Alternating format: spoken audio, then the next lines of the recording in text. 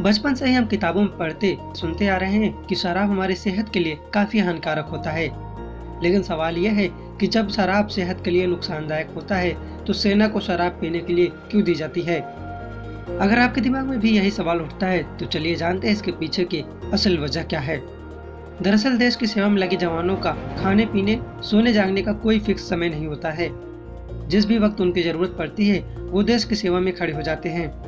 यानी सेना के जवान को हर वक्त किसी भी चुनौती से निपटने के लिए तैयार रहना पड़ता है। ऐसे में शराब सेना के जवानों के लिए बड़ी कारगर साबित होती है।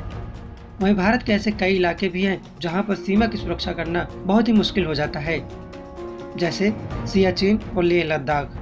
इन दोनों इलाकों में भारी ठंड पड़ती है और तापमान माइनस पचास डिग्री तक भी पहुँच जाता है।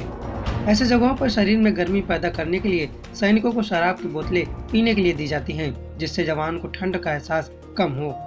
दूसरा कारण यह भी है कि सैनिकों को घर जाने में काफ़ी वक्त गुजर जाता है, जिस वजह से उनके काम पर इसका असर दिखने लगता है, जिससे उस तनाव को निकलने और काम पर फोकस करने के लिए भी सैनिकों को शराब पीने के लिए दी जाती है।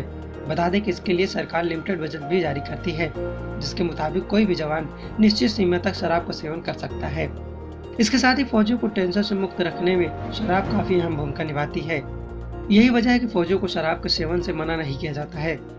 हालाँकि शर्त होती है कि सैनिक में नशे का असर ड्यूटी पर नहीं दिखना चाहिए, नहीं तो फौजी की ड्यूटी भी जा सकती है। इसके लिए बाकायदा सैनिकों को थोड़ी थोड़ी मात्रा में ड्रिंक करने की सलाह दी जाती है। वहीं आपको यह भी बता दें कि किसी भी सैनिक को शराब पीने के लिए फोर्स नहीं किया जाता है। जो शराब नहीं पीते हैं, उनके लिए एनर्जी ड्रिंक्स की सुविधा मुहैया कराई जाती है। वैसे सैनिकों को शराब देने की परंपरा ब्रिटिश काल से ही चली आ रही है। सेना मानती है कि शराब पीना नुकसानदायक ज़रूर है, लेकिन सीमित मात्रा में इसे इस्तेमाल करने के कई फ़ायदे हो सकते हैं। इसलिए जवानों को शराब पीने के लिए दी जाती है। D three news.